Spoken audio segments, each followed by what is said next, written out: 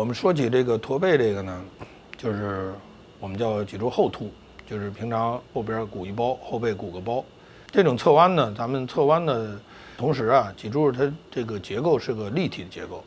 在侧弯的同时可能会伴有后凸，不管是先天的侧弯还是特发的侧弯，呃，严重了都可能会出现这些问题。但是，一般咱们所说的驼背呢，可能都不是很严重的这种。一般来说呢，可能还是跟习惯呀、姿势啊有关系。所以，轻度的这种呢，还是通过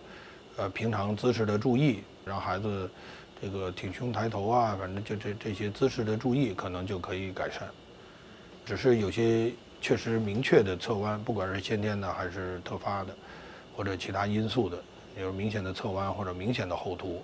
还有一种呢，就是叫胸闷氏病，就是脊柱后凸。这个病因也不是很明确，就是会出现脊柱的后凸畸形，它可能没有侧弯。这种来说呢，平常注意可能就没法完全控制了，有些时候可能是需要手术来改善的。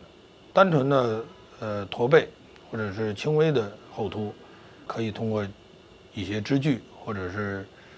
一些背带可能能改善。你像有时候有叫英姿带，就是促进孩子那个双肩往后背来挺胸，这种可能会有一些帮助。